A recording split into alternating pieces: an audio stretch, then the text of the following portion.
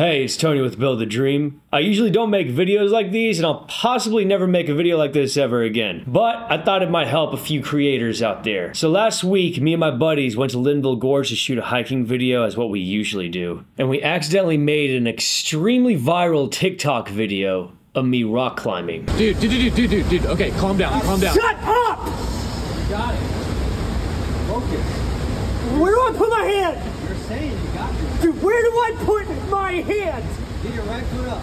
Dude, Get your right Dude, foot I up. can't. Get your right foot up. I, I, I can't. I don't want to do it anymore. or fake rock climbing. But the video was posted about four days ago on May 23rd, and as of now, while recording this video on May 27th, it has 9.7 million views and over a million likes. The TikTok was posted on Lurl, or Live in Real Life, and is directly connected to my YouTube channel, Build the Dream. While my buddy John's extremely new TikTok account got roughly 7,000 followers from that one video in four days, the question becomes from a very viral TikTok video, how many YouTube subscribers does it translate into if that TikTok is connected to the YouTube channel? Let's take a look. As you can see, the channel's daily subscribers hovers anywhere between 1 to 8 subscribers per day, but the overall mean comes out to roughly 4 to 5 per day. So on Tuesday, the video dropped and the channel got 6 subscribers. Wednesday, it got another 6 subscribers. And Thursday, the channel got a whopping 17 subscribers, and Friday, 16 subscribers.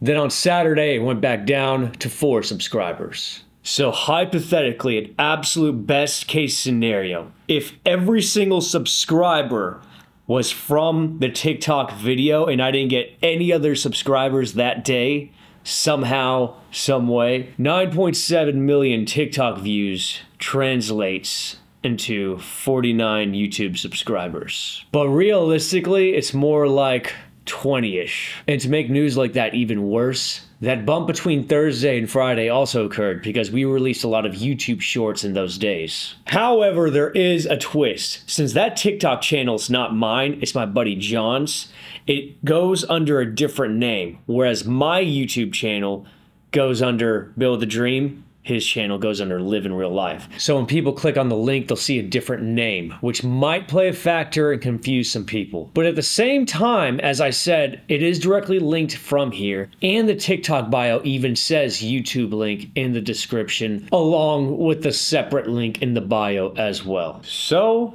I don't know, but for me, a lucky viral TikTok video translates into not too many YouTube subscribers. I do know that TikTok is good for exposure, I guess, but as far as brand building and all that other business stuff goes, I'm not the guy for that. All I can speak on are my results for this one instance where the TikTok algorithm god decided to be nice. But I have no regrets for the video, besides the shirt I wore.